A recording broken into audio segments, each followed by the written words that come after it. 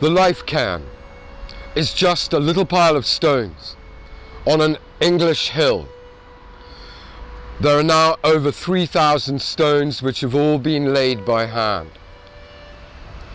Each stone is a memorial to all the species that have become extinct at our hands. And it is a statement by all who have laid them that we are to no longer be despoilers, eradicators, and murderers, but we are to be nurturers and protectors of this extraordinary planet that we share. So on the 5th of June, in the centre of Stockholm, a life cairn will begin. Please come along. Find a white stone.